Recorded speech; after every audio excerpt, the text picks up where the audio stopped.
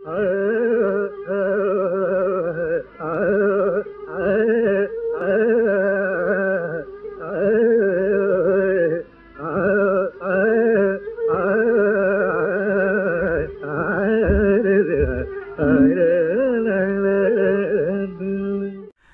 நம்ம பார்க்க போகிற பொடி சங்கதி பக்கவாத்தியங்களை பற்றி ஆயிரத்தி தொள்ளாயிரத்தி ஐம்பத்தேழில் ஒரு கச்சேரி நடந்திருக்குங்க. திரு சித்தூர் சுப்பிரமணிய பிள்ளையும் திரு மதுரை சோமுவும் சேர்ந்து சேலத்தில் ஒரு பொருட்காட்சியில் பாடியிருக்காங்க. இதுக்கு ஒரு அட்வர்டைஸ்மெண்ட் வந்திருக்கு. ப்ராக்கெட்டில் பத்து பக்கவாத்தியங்களுடன் இந்த கச்சேரின்னு.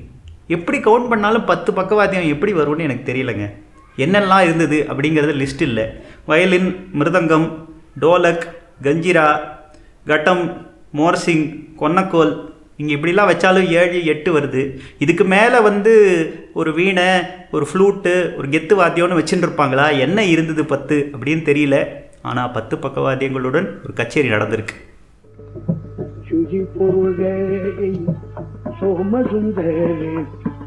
சொல்லி தந்த சீலன் சுப்பிரமணியன் சுதிரக சொரலய ஞானங்கள் எல்லாம் சொல்லித்தந்த குருவாம் சுப்பிரமணியம். இந்த சோமனுக்கு சொல்லித்தந்த குருவாம் சித்து சுப்பிரமணியம்.